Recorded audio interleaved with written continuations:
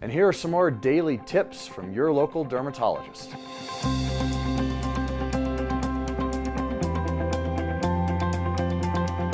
All right, so you have an injury. You smashed your knee on the dining room table for the 50th time that week and you've got a big gash there. How do you prevent that area from scarring worse than it normally would? The number one tip for it is to seek a provider's help if you think it's infected or if it's a really deep cut. So in other words, if you're seeing like the fat layer or the muscle or bone layer, you have to go in and be seen. But if it's just mostly on the surface of the skin, the skin's intact, then there are a couple tips that we can help you with. Number one, keep it moist.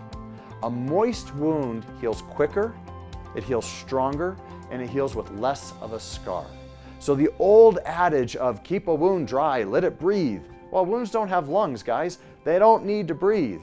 They need to be kept moist and covered and not bothered. And the best way to do that is with a little Vaseline or Aquaphor and a bandage.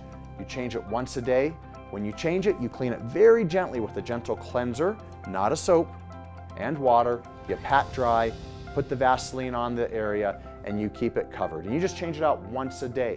More than once a day actually hurts your healing. Next thing is leave it alone. Don't be picking at it. Don't be scratching at it. Don't smash it against the table for the 51st time that week.